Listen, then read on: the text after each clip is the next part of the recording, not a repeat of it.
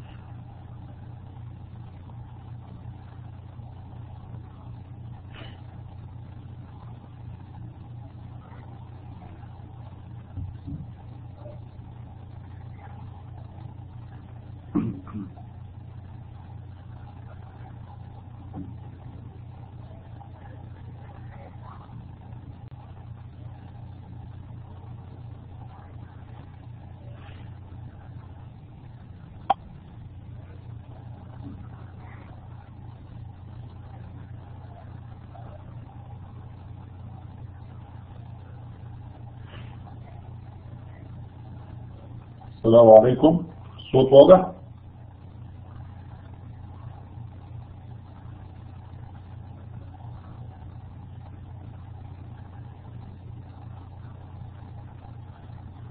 تمام.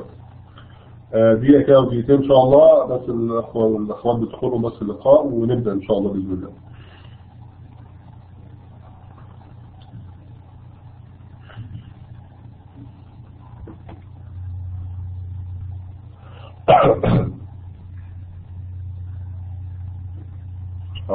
وعليكم السلام ورحمة الله وبركاته.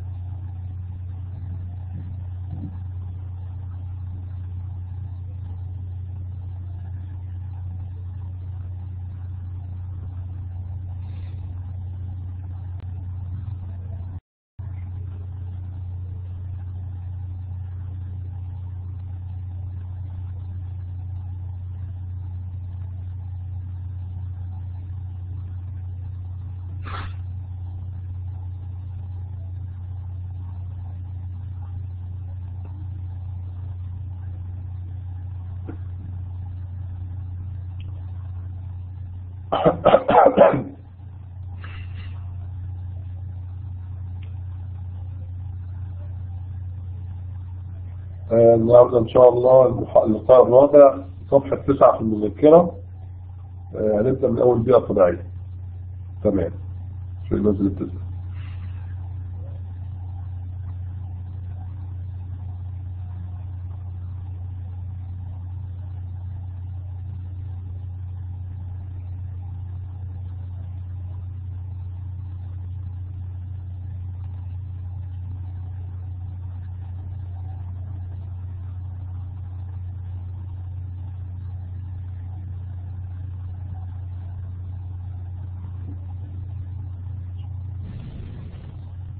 آه، كده نبدأ إن شاء الله بإذن الله لقاءنا النهاردة. هنبدأ دلوقتي آه، لقاءنا الرابع في آه، مقرر آه، تمام مبادئ التسويق الفصل المتعلق ببيئة التسويق. وكنا توقفنا عن عناصر البيئة الخارجية الكلية وتكلمنا أو ناقشنا اثنين البيئة الديموغرافية السكانية والبيئة الاقتصادية والنهارده بقى هنكمل بقية الفصل دوت وبقية الايه ال- الأعوام.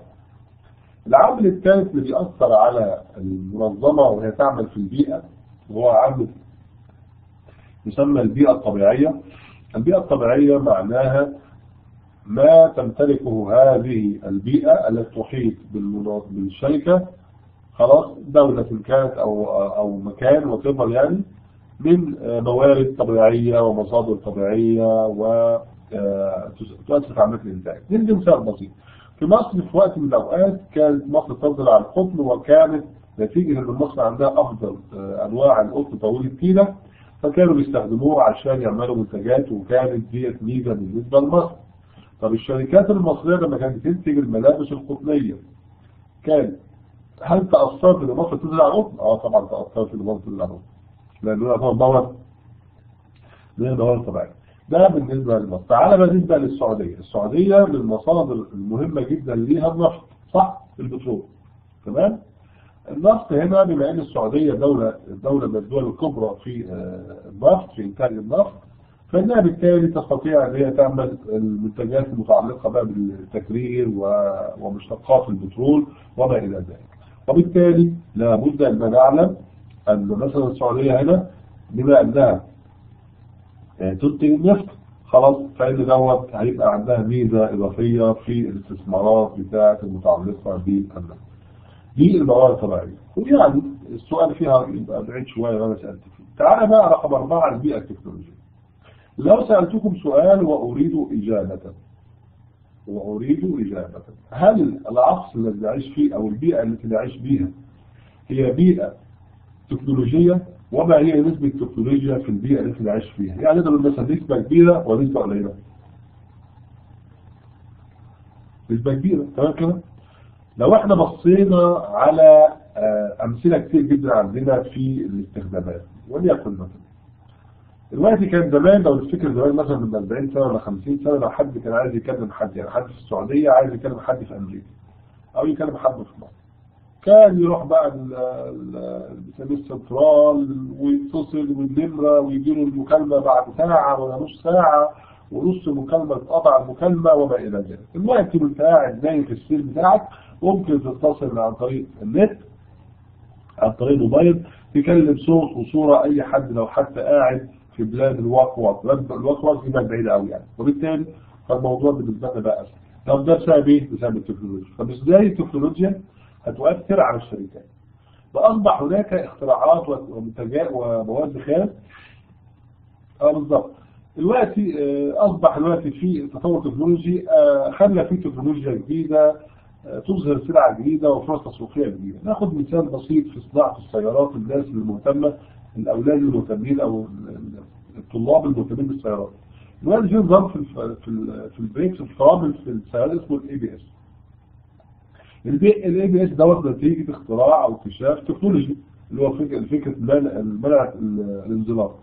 منع الانزلاق يعني معناها معناه إن السيارة لما تيجي تمسك brakes فرامل مرة واحدة أو تمسك فرامل في الغالب النظام القديم قبل ال ABS كانت السيارة ما تستطيعش إنها تقف بسرعة وفي مشكلة ثانية كمان إنها ما تقدرش تتحكم في اتجاه السيارة يمين أو شمال.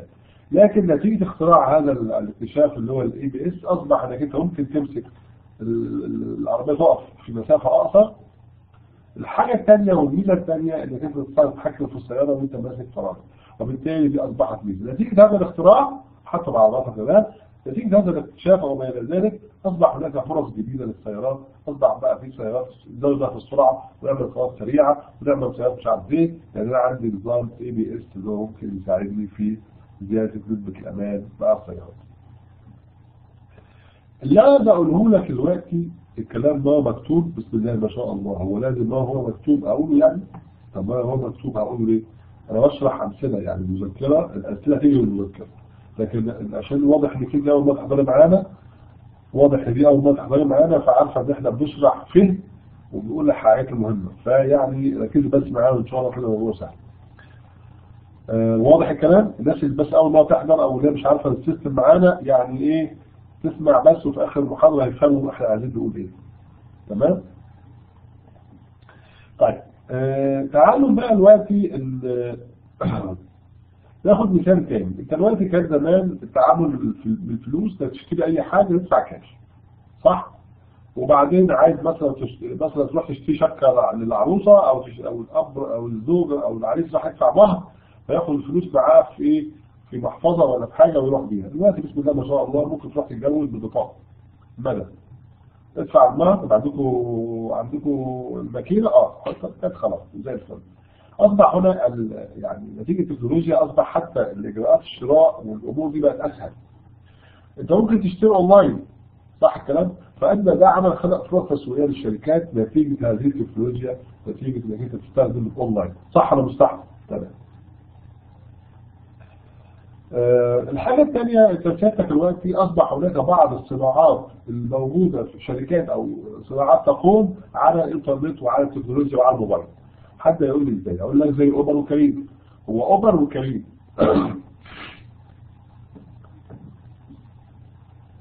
ماشي. okay. تعال بقى نشوف أوبر وكريم. أوبر كان عبارة عن تطبيق تطبيق على الموبايل. صح ولا مش صح؟ صح. فنتيجه اختراع الموبايل واختراع النت وكلام واكتشاف الحاجات التكنولوجي أصبح الوقت إنك أنت ممكن على تطبيق تعمل ترند على الحاج أوبر ولا حاج كريم وبالتالي هيطلب تاكسي من المكان بتاع ال location يبعت لك المكان وبالتالي الأمور تمشي كويس وما إلى ذلك. واضح الكلام؟ ان العوامل التكنولوجية ممكن تؤثر ولا لا تؤثر في الأمور بتاعتها أو في حياتها أو في أداء الشركات؟ نعم تؤثر. تمام. نيجي للعامل الخامس البيئة السياسية والقانونية. آه طبعا. أنا دلوقتي لما أجي أسألك عشان بس في النظام أسأل بقى هنا إزاي؟ خلاص؟ هقول لك والله البيئة التكنولوجية دي أحد عناصر إيه؟ البيئة الداخلية ولا البيئة الخارجية الجزئية ولا البيئة الخارجية الكلية؟ أريد اجابة الخارجية الكلية. واضح. ده السؤال فيه ونفس الكلام في البيئة السياسية والقانونية تمام هل البيئة هل سياسة الدولة وقوانين الدولة ممكن تؤثر على أداء الشركات؟ نعم أم لا؟ نعم كيف؟ أقول لك يا سيدي واحد اثنين العوامل السياسية والقانونية دي كلها هي عبارة عن إيه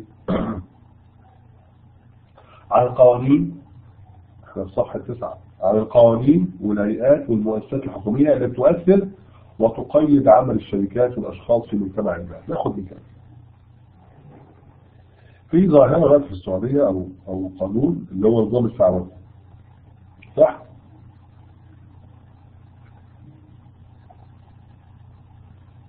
ده قانون ولا مش قانون؟ قانون. إيه معناه؟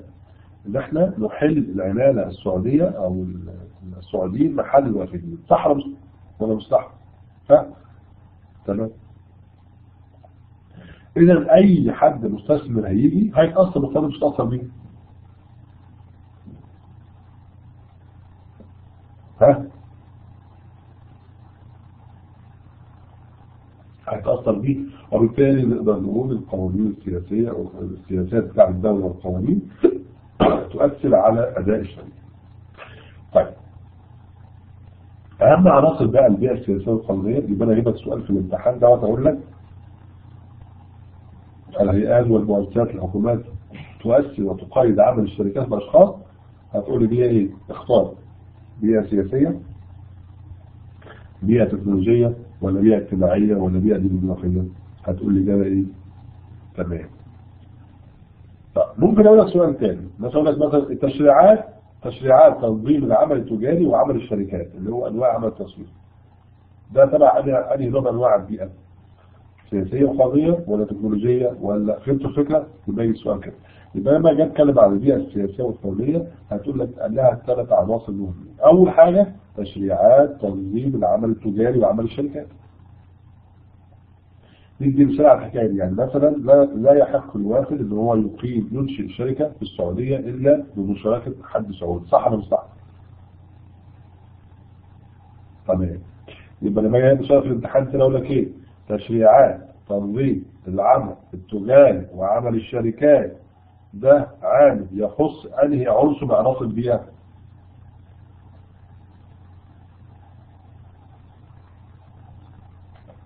واضح الأسئلة كده؟ ولا صعبة؟ تمام جميل. طيب تعالى بقى للعامل الثاني لعنصر البيئة السياسية والقانونية اللي هي منظمات حماية المصلحة العامة زي حماية البيئة والمستهلك. هل هذه المنظمات تؤثر على باقي الشركات؟ آه طبعا. ده معظم الشركات ما بتخافش إلا من منظمه حماية المستهلك ديت وحماية البيئة. دلوقتي حتى في السعودية دلوقتي بدأ يفعلوا وينشطوا حكاية حماية المستهلك يعني أنت لو اشتريت سلعة ولقيت فيها خش غش أو خداع تعمل إيه؟ تقعد تعاين جنبها وتقول يا ريت ما اشتريت من عنده ولا تروح تشتكيهم.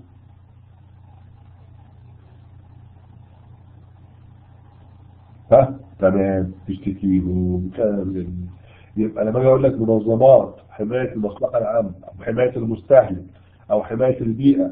دي تبع أنهي نوع من أنواع عناصر البيئة؟ اختار البيئة السياسية القانونية. واضحة؟ شكلها مش واضحة. واضحة؟ تمام هيجي السؤال. ناخد بقى مثال موجود عندنا في المذكرة. يقول لك إيه؟ بعض الدول فرضت رسوم على البضائع التي تاتي من الخارج لكي تشجع الانتاج المحلي وأشهر مثال بقى الوقت اللي بتعمله الصين وأمريكا مع بعض ترامب بتبهدل الصين كل يوم لهم إيه؟ يرفع عليهم إيه؟ الضرائب يبقى الضرائب التشريعات اللي هي فرض رسوم جمركية إضافية خلاص على المنتجات الأجنبية ده معناها إنك أنت إيه؟ ها؟ إنك أنت ده حاجات إيه؟ أبو محمد حاجات آه سياسية ولا لأ؟ ها؟ ماشي معايا؟ تمام. وطبعا ترامب مجنن الصينيين ومجننا معاه لأن كل شوية يرفع الضرايب لحد ما وصلها مش عارف 700 مليار دولار. طبعا أنا يعني الصين من الدول اللي هي بتنصب كتير واللي هي فعلا مستغلية أمريكا و و و. وشكلهم يعني هيدفعوا اللي خدوه بعد الأمريكان وزياده يعني. تمام حاجة ثانية في بعض الدول بينشأ بينها وبين دول ثانية خلافات سياسية هل ده بيأثر على أداء الشركات لكلا كلا الجنسيتين؟ نعم أم لا؟ طبعا لا خلاص لما نتخانق مع دولة ثانية والله ما نشتري منهم ولا نبيع لهم خلاص واضح؟ يبقى لما أسألك في دوت هسألك غالبا في التعريف اللي أنا قلته. ولا أقول لك مثلا الدولة تفرض رسوم ده أدي ده انواع العناصر اللي دي اساسيه قضية. لما أقول لك منظمات حماية المستهلك ده منين أو حماية البيئه منين ولما أقول لك آه الأولانية اللي هو تشريعات تنظيم العمل تقول لي تبع البيئة السياسية. دي بشكل الأسئلة اللي هتيجي واضحة؟ بتكتبوا ورايا مركزين ولا نايمين زي ما أنا دلوقتي؟ ها؟ والصوت واضح كويس؟ عشان بس عندي آه عندي التهابات بس في في الحنجره معلش فصوت ممكن يبقى شوية بعيد. ما كنتش بغني ده هو بس من كتر المحاضرات والبرد يعني.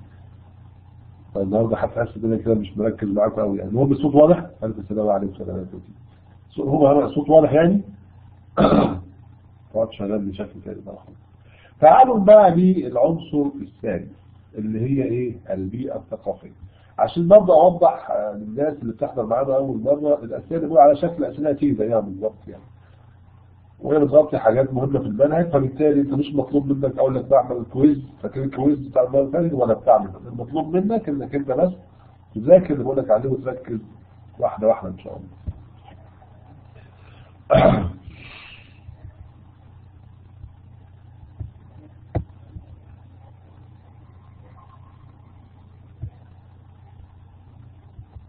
طيب تعالوا بقى نشوف العامل السادس تمام كده اللي هو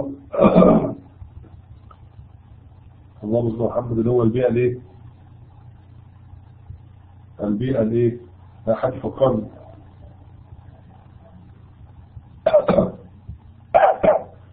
البيئة الثقافية جميل تمام معلش بقى حكم السن بقى كويس طيب البيئة الثقافية تعني العادات والتقاليد خلاص؟ والأذواق والقيم وقواعد السلوك أو نمط المعيشة في دولة الله. لو سالتك العادات والأذواق والقيم في السعودية زي العادات والقيم والأذواق في لبنان ولا في فرق ها؟ هذا لا تفق طبعا لا تفق تمام. كويس؟ كيف حتى في السعودية في مناطق فيها عادات وأذواق غير المناطق الثانية يعني مثلا المدن الكبيرة غير المناطق اللي مثلا إيه اللي هي بعيدة في الأطراف المملكة مثلا. فتلاقي حتى العادات الشرائية ونمط المعيشة مختلف. فاهم كده؟ وبالتالي لما أجي أقول لك البيئة الثقافية السؤال الأولاني البيئة الثقافية البيئة الثقافية هي أحد عناصر البيئة إيه الجزئية الكلية ولا الجزئية سوري الخارجية الجزئية ولا الخارجية الكلية ولا الداخلية؟ الخارجية الكلية. تمام. ده السؤال إيه لما أقول لك القوة التي تشمل إدراك القيم والأذواق وقواعد السلوك المجتمع اختار بيئة ثقافية اجتماعية ديموغرافية مهلبية تختار إيه؟ آه مش مهلبية تمام كده؟ ده شكل الأسئلة اللي هتيجي وكده نقدر نقول إن إحنا خلصنا الفصل دوت اللي هو الفصل بتاع الثاني اللي هو بيئة البيئة الثقافية أو البيئة التسويقية وقلنا عناصرها البيئة الداخلية والبيئة والبيئة الخارجية. قسمناها نوعين خارجية جزئية وخارجية كلية. واضح الصورة كده خارجية جزئية وخارجية كلية. وبالتالي الأمور كانت واضحة وسهلة وحددنا شكل الأسئلة بتيجي فيها إزاي. خلاص وكنا بنتكلم آخر حاجة على البيئة الثقافية حتى في مثال في المذكرة اللي معاكم. هل القيم والمعتقدات والعادات تؤثر على السلوك الشرائي؟ آه اديكم مثال بسيط كده. وأنا كنت في إنجلترا عايش هناك كنت أروح أشتري متعود بقى على العادات بتاعتنا بتاعت العرب بقى الكرم والكمية والكلام ده. فرايح أشتري الراجل بتاع الفاكهة اللي على نص السكن اللي ساكن فيه أو في الشارع اللي ساكن فالراجل دوت ابص الاقي الناس كلها اللي بيشتري موزة اللي بيشتري تفاحة اللي بيشتري موزتين بالكيلو تفاحتين. فأنا كل مرة أنا اولادي كانوا يحبوا الموز ده يعني يعني. فاشتري مثلا 2 كيلو 3 كيلو موز. فالراجل يديني. يعني أنا الوحيد اللي بطلع معايا شيله شيلة كبيرة كده. فالمهم بعد شهر ولا شهر ونص فالراجل صاحب المحل ده بيقول لي بيقول لي تمام كده زمان القروض بتاعتك بقت كبيرة دلوقتي بتاخدهم بتاخدهم كمية موز كبيرة قوي. فالقروض بقى كبرت دلوقتي بقت حتى زي الفل. بحسبه بيهزر على أولادي إيه الراجل العبيط ده بيهزر على القروض يعني. فاكتشفت طبعا ما بيهزرش هو متعودين هناك إن الناس ها بيشتروا كميات إيه؟ ها معايا؟ أيوه.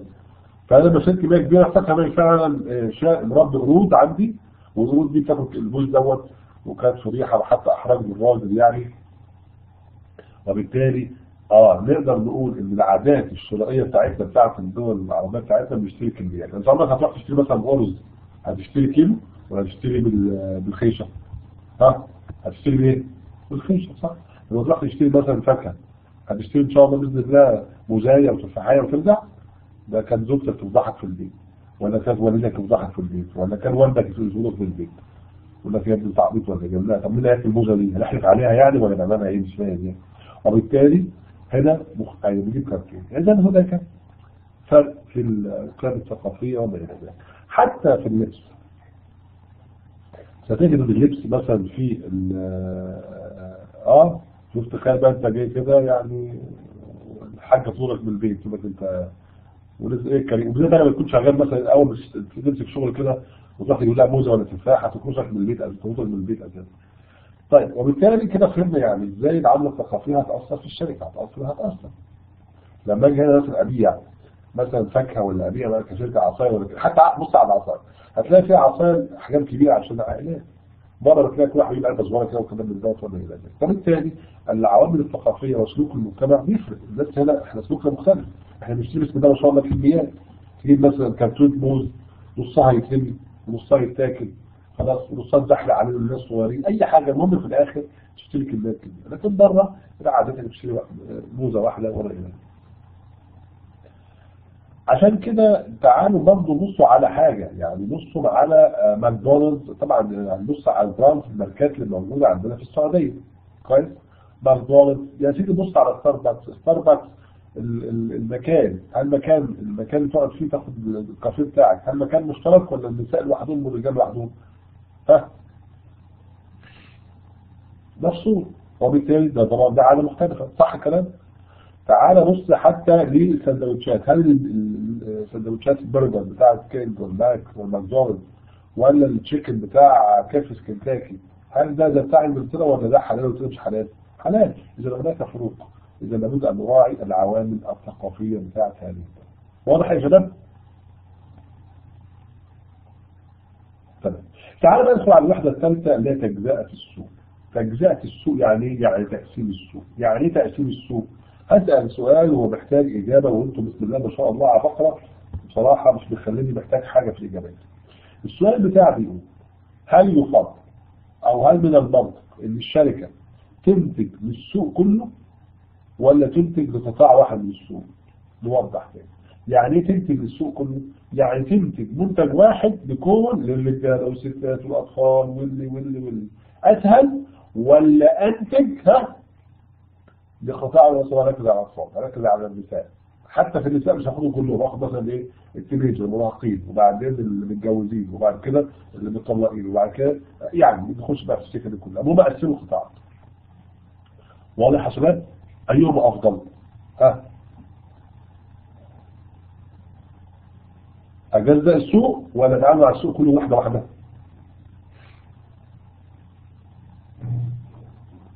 نجزء السوق ده الكلام المنطقي وزي حد يجي يقول لي يا دكتور طب أنت بتقول كلام وفي حاجات تانية عكسها. أقول له زي إيه؟ يقول لي ده بيبسي يا معلم. مش بيبسي دوت منتج للناس كلها بيشربوا الكبير والصغير واللي واللي واللي واللي أقول له برغم من ده كلام يبدو صحيحا إذا إنه الوقت يا معلم بدأ يجزأ. يعني في عندنا بيبسي, بيبسي light وبيبسي العادي صح؟ وفي بيبسي حجم 330 مللي. الصوت كده واضح معلش بس عشان الصوت عندي فيه مشكلة. كده واضح الصوت؟ مش بس في الألقاب معلش يعني النهارده بس يعني ربنا ييسر بس فشوية استأذنكم. تاني. واضح كده الصوت؟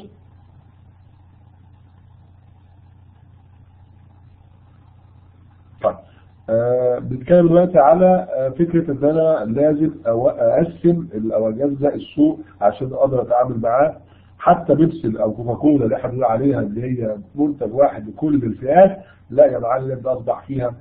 بيبسي الحجم العائلي وفي بيبسي 1 لتر وفي بيبسي ال cans وفي بيبسي 300 مللي وفي بيبسي 150 مللي cans وبيبسي سهل لفتحه صغيرة وفي وفي وفي diet وفي أنواع من بيبسي وفي 7 Up وفي 7 Up البطيخ وكل الكلام ده. ماشي الكلام وبالتالي أصبحت من المفاهيم التسويقية الحديثة أن أنا أركز على ها؟ آه زي الفل. نظام بقى الأكل ونرجع الجعان وبالتالي أصبح تقسيم السوق من مبادئ أو مفاهيم التسويق الحديث. الفكرة ببساطة إيه؟ الفكرة ببساطة لما بقسم إن أنا بقسم على أساس رغبات واحتياجات كل فئة. في بعض الناس في بعض الناس تفضل اللبس الكلاسيك. في في بعض الناس تفضل لبس slim اللي هو تعرفين slim طبعا slim اللي هو يعني مجسم يعني. خلاص؟ في ناس تحب مثلا تلبس اللبس اللي هو بتاع البلد يعني ال uniform ال formal وناس تحب تلبس لبس الخواجات يعني كل حد شوية بيبقى ليه ليه مقابلات. وبالتالي أنا الفكرة موضوع التجزئة أو في التقسيم إن أنا بحاول بقدر الإمكان أجمع مجموعة من المستهلكين يكون عددهم كافي لهم رغبات محددة وانتج لهم منتج محدد ناخد مثال بسيط ناخد مثال. هي شركة هايونداي بتنتج كم نوع من انواع السيارات. الكومر مشهور يعني إيه؟ في عندنا أكسنت وفي عندنا آه الانترا وفي عندنا آه سوناتا وفي عندنا أزيرا وما إلى ذلك. صح؟ إذا لا تنتج نوع واحد ولا كذا نوع كذا نوع. ليه؟ لأن في فئة من المستهلكين تحب الأكسنت. واحد لسه هيتجوز وظروفه صعبة ولسه بدأ في الشغل مرتبه قليل فيجيب عربية رخيصة شوية. خلاص؟ أو هو لسه ما اتجوزش ما عندوش عيلة ما بيسافرش كتير فيجيب عربية قد مشاوير وكلام فيجيب اكسنت ده مش كده يا مؤمن بس؟ ده الأكسنت بدها ثلاث فئات فئة ال standard العادية أو الأصلية أو اللي هي بدون اضافات وفي الفئة الأولى والفئة الثانية وأسعارهم مختلفة. يعني أنت لو معكش يعني مش يعني صح العملية مزنقه معاك قوي هات ال standard لو أنت العملية بحبحت شوية معاك يعني 2000 ريال زيادة تدرسها هات لك اللي هي إيه الأسبوع وهات لك فتحة السقف وما إلى ذلك. وبالتالي إذا هنا معناها إن أنا جزأت السوق حتى المنتج الواحد يباع لأكثر من فئة وبالتالي شيء مهم جدا إن إحنا نجزأ السوق لأنك لا تستطيع إنك تشبع رغبات الناس كلها لأن رغبات الناس مش متشابهة. بالظبط وعارفين رغبات الناس قد تكون مرتبطة بالسعر مرتبطة بالجودة مرتبطة بالمنتج مرتبطة بالوصفات. الحاجة الثانية أيهما أسهل؟ أنتج منتج يقنع يرضي الناس كلها ولا أنتج منتجات مختلفة لفئات مختلفة؟ ها. يا مؤمن يا مؤمنة لما تروح تعزموا يعني مثلا انت وأصحابك أو انت أو أنت وأصحابك رايحين عازمين عزومه عازمين حد فيهم يعني. هل كلكم تجيبوا نفس الوجبة؟ سؤال لو نفس المطعم تجيبوا نفس الوجبة؟ لا. اللي بيجيب دجاج واللي بيجيب لحم واللي بيجيب مندي واللي بيجيب هندي واللي بيجيب مش عارف إيه واللي بيجيب كبسة واللي بيجيب مقلوبه واللي بيجيب أنا بجعوع الناس يعني. وبالتالي حتى الكلام دوت في في آه فتلاقي المحل آه محليه صح. فتلاقي المحل عامل وجبات كتير جدا. ليه؟ لأن رغبات الناس مش متشابهه بس في ناس تروح تجيب المقلوب ناس يعني مثلا يروح يجيب هو بيعمل بقى على على على حجم الناس الموجود عنده. فهمت الفكرة؟ اذا ديت مهمة جدا عشان الشركة تستطيع إن هي تعمل مزيج التسويقي المناسب ها للشركة بتاعتها. مش واضح؟ بحاول اعلي صوتي والله عشان يعني. واضح؟ تمام. جميل. نيجي بقى تعريفات السوق اللي يهمني ركزوا في الحكاية دي. أول حاجة السوق هعرفه من وجهة نظر من وجهتي نظر مختلفتين حلوة وجهتي نظر وجهة نظر اقتصادية وجهة نظر تسويقية. والاثنين يتسأل فيهم في الامتحان يتسأل فيهم فين؟ في الامتحان. واضح؟ صفحة 10 طب تعريف السوق من وجهة نظر اقتصادية عبارة عن إيه؟ المكان خدتها في الاقتصاد. صح؟ الذي يلتقي فيه البائع بالمشتري. يعني مكان على مكان. صح؟ أو يلتقي فيه العرض مع الطلب اللي هو البائع والمشتري. لمنتج ما بهدف تحديد سعره. لما أجي أقول لك التعريف ده أهو المكان الذي يلتقي فيه العرض والطلب لمنتج ما بهدف تحديد سعره ده تعريف التسويق من وجهة نظر الاقتصاديه ولا اجتماعية ولا سياسية ولا تسويقية. هتقول إيه؟ اقتصادية تمام طب إيه بقى تعريفه؟ من وجهة النظر التسويقية ده اللي يهمنا إحنا. بس في الاقتصادية وأسألك في السياسية. بص يا سيدي من ناحية التسويق لما أجي اعرف السوق السوق لابد أن يكون هناك طرفين. هناك إيه؟ ها؟ طرفين. قد يكون الطرف هنا بائع وطرف مشتري. طرف عرض وطرف طلب بس الطرف ده ممكن يكون شخص ممكن يكون مجموعة وممكن يكون شركة أو شركات. ثاني طرفين. كل طرف فيهم عنده الرغبة للتبادل شيء ما. المنتج أو البائع معاه بضاعة والمستهلك معاه فلوس. وكل واحد عايز المستهلك عايز البضاعة والبائع عايز إيه؟ الفلوس. فكل واحد معاه شيء يمتلكه إيه؟ يرغب فيه الآخر. الشرط الثالث إن كل واحد يكون لديه القدرة على إتمام التعيين الصفقة أو إتمام إيه؟ العملية. واضحة؟ واضح؟ يبقى يقول لك مجموعة الأفراد أو الشركات أو المنظمات الذين لديهم حاجات لمنتجات معينة ولديهم القدرة والاستعداد والسلطة هذه المنتجات ويقوم بعرضها من البائعين. تقول إيه؟ تعريف الايه السوق من وجهة نظر إيه التسويقية ولا الاقتصادية ولا ولا الاجتماعية ها؟ ده السؤال إيه كده كويس؟ طيب خلاص الكلام موجود عندك في المذكرة من التعريفات السابقة. يتضح أن السوق يجب أن تتوفر فيه خمس شروط أول حاجة إيه؟ أسمع ها؟ ما حدش بيقول ليه ها؟ أول حاجة إيه؟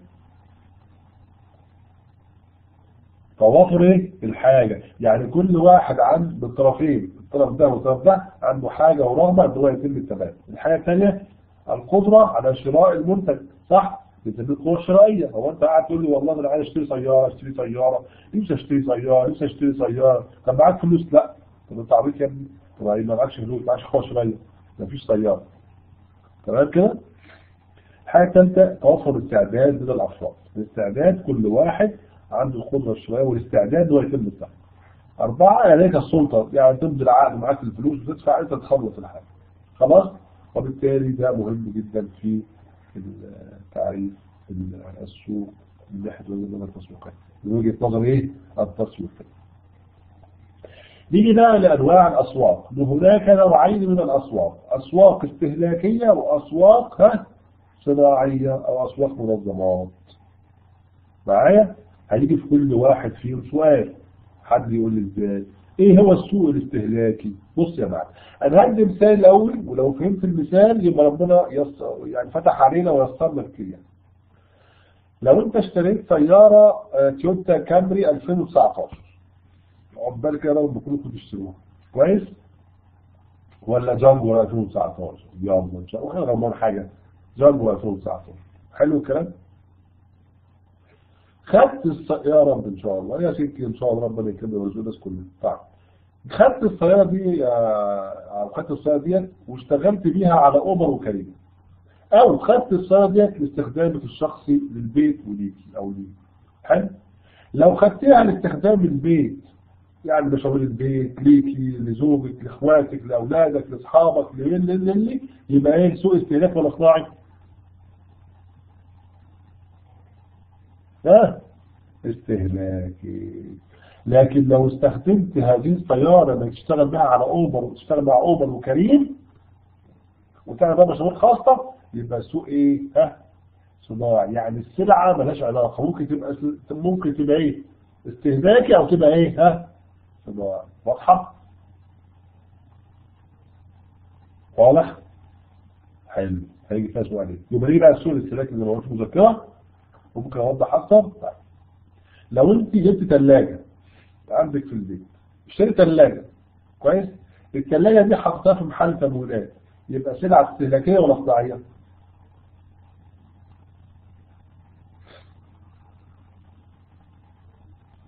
تاني.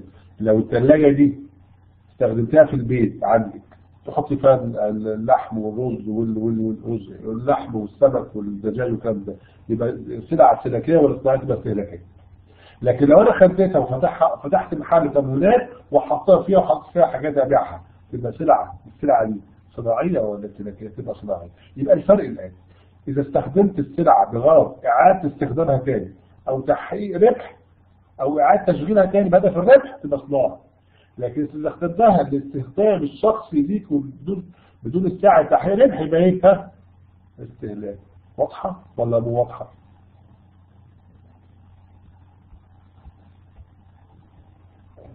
ها؟ نشوف بقى تعريف المرتب. المشترين أو الأفراد الذين لديهم إيه؟ الحاجة. والرغبة والمقدرة. كل كلام وقدر الشرائية والاستعداد لغرض شراء منتجات. بغرض إيه؟ ها؟ استهلاكها نهائيا. وليس بغرض تحقيق أغراض أخرى اللي إعادة البيع أو الربح. يبقى سلعة إيه؟ استهلاكية. خلاص؟ يبقى هو المنتج الذي تشتريه بغرض الاستهلاك وليس لك وليس لك النية لإعادة بيعه في أنت تجيبه لاستخدامك أنت الشخصي. دي كل لكن يا مؤمن لو قلت المنتج تستخدمه ليس لغرض الاستهلاك وإنما لواحدة من أكثر العضله التاليه اعاده البيع تاني يبقى صناعه لو استخدمت المنتج استخدامه مباشر في صنع منتجات أخرى يبقى صناعه لو استخدمته في السياره إعادة صياغته غلفته عملته قسمته حاجات شكلته عملته زي شوكولاتة عمل أشكال وما ذلك يبقى برضه صناعه صناعيه لو اعاد بيعها تاني يبقى صناعه صناعيه السؤال إيه الفرق؟ الفرق في الرغبة في استخدام المنتج هل الربح ولا الاستهلاك النهائي؟ لو كان الربح يبقى سلعة صناعية لو كان للاستهلاك يبقى النهائي يبقى سلعة إيه؟ استهلاكية. واضحة ولا عايز تاني؟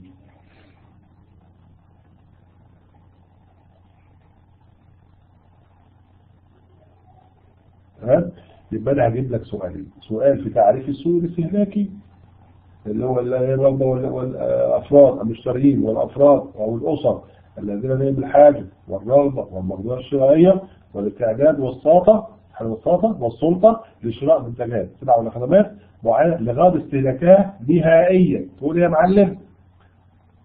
اتفهمت ولا قلت تاني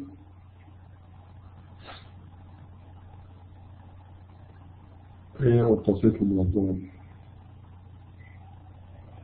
هنا. آه إحنا بنسلم على تمام ماشي. خلاص؟ لو أنا سألتك تاني قلت لك المنتج ده الاستهلاك النهائي ده سلعة استهلاكية ولا صناعية؟ ها؟ ها؟ جميل استهلاكية. زي الفل. واضح لا إله إلا الله. لكن لو استخدمت السلعة تاني عشان إعادة بيعها أو تغيير شكلها عشان إعادة استخدامها تاني بهدف تحقيق الربح يبقى سلعة صناعية. طبعا يختلف السوق الصناعي الاستهلاك زي ما عندنا كده زي مثلا شراء السلعة بدل السلعة بدل منظمة الخصوصية لو أنت جبت مثلا كراسة أو قرطاسية القرطاسية دي اللي هي كراسة أو حابب فيها صح؟ القرطاسية دي يعني قرطاسية مش هي كراسة نكتب فيها تمام لو أنا استخدمتها بقى قعدت اكتب المحاضرات بتاعتي وأبيض فيها وأعمل وأعمل وأعمل يبقى سلعة صناعية استهلاكية ولا صناعية؟ استهلاكية لكن لو وقفت بيها بقى قدام المسجد ابيعها يبقى سلعة إيه؟ صناعية طب لو أنا استخدمتها في الشغل بتاعي إن أنا بكتب فيها بقى اللي دفعوا لي فلوس واللي عليهم فلوس والكلام دوت تبقى صناعية ده واضح؟ وده سؤالنا نيجي بقى العنوان اللي أتكلم فيه النهارده اللي هو آخر حاجة الاستراتيجية التسويقية. كلمة استراتيجية يعني الخطة الاستراتيجية يعني خطة طويلة الأجل التعريف بتاعها مهم. الاستراتيجية التسويقية هي خطة طويلة الأمد ولا قصيرة الأمد؟ أي كلمة استراتيجية تبقى طويلة الأمد خلاص؟ لاستخدام الموارد بتاعة الشركة في تحقيق الأهداف التسويقية يعني أنا هستخدم كل موارد الشركة المادية والمالية والبشرية عشان أزود حصتي في السوق أو أحقق أرباح كبيرة أو أو أو بستخدم مواردي عشان أحقق أهدافها للمنظمة. ماشي الكلام؟ وبالتالي عشان أحط استراتيجية صحيحة محتاج حاجتين. عارف مهم. بتاع الاستراتيجية التسويقية مهم. عشان أحط استراتيجيه تمام لازم يبقى عندي حاجتين. اولا لازم أحدد الفئة أو قطاع السوق اللي قلت عليه اللي هشتغل معاه. الحاجة الثانية أحدد المزيج التسويقي الملائم للسوق المستهدفه خلاص؟ وهنتكلم عليه بعد شوية. المثال ده اللي اتكلمنا فيه دلوقتي في حكاية ان أنا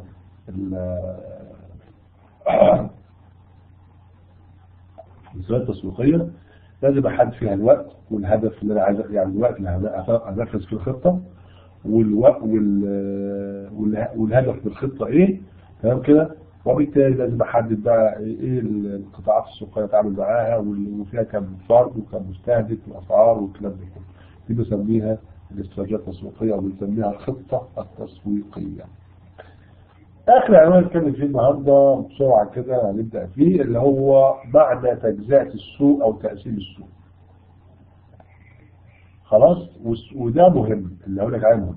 تقسيم السوق معناه تقسيم السوق الكلي إلى قطاعات من المشترين المحتويه على أساس إيه؟ تشابههم داخل كل قطاع وبالتالي أنا بنتج لهم منتجات ورغبات ملائمة يبقى تعريف دوت اللي تستند هذه الاستراتيجيه إلى عمليه تقسيم السوق الكلي إلى قطاعات من المشترين لهم رغبات متشابهة ولا مختلفة؟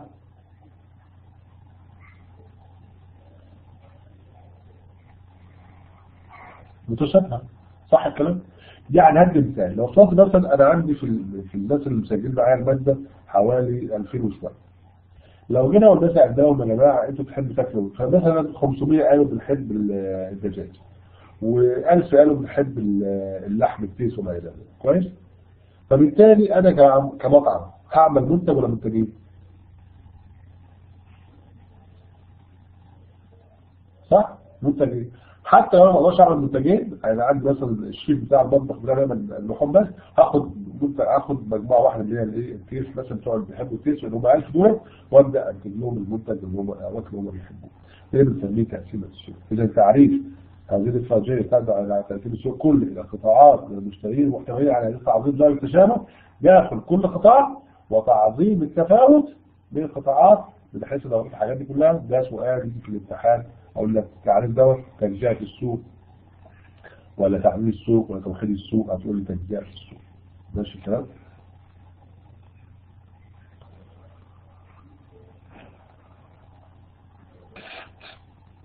لو أنت مسافر بالطيارة. في عندنا ثلاث فئات.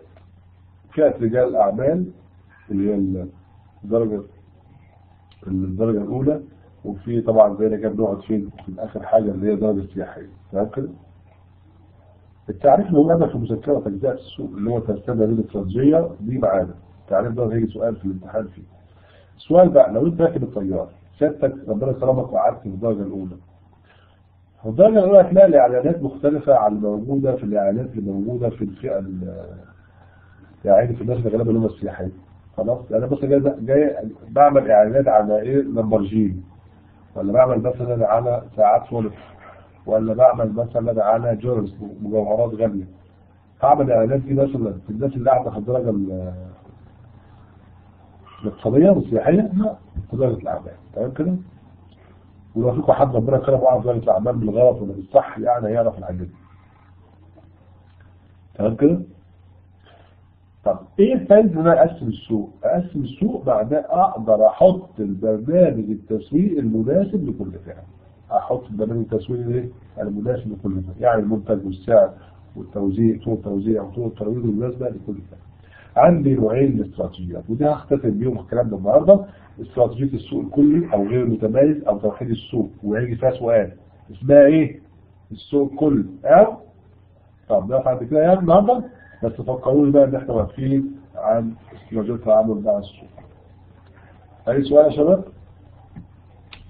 معلش النهارده بس عشان البرد عندي التهابات بس في الحنجرة فيعني الصوت شوية فيعني الحمد لله كده تمام. أي سؤال أي استفسار إن شاء الله من الاربع بإذن الله نكمل الشغل بتاعنا إن شاء الله. طبعا معاكم مذكرة وبتحل الأسئلة فيها ويا ريت اللي يدخل فيه أول مرة يبقى عارف النظام بتاعنا ويبدأ يشتغل معانا أول مرة. أي أسئلة؟ طب في أي صعوبة في اللي النهارده؟ تمام ما فيش. تمام كده. خلاص أشوفكم إن شاء الله يوم الاربع في نفس الميعاد بإذن الله إن شاء الله. ألف رعايه الله السلام عليكم.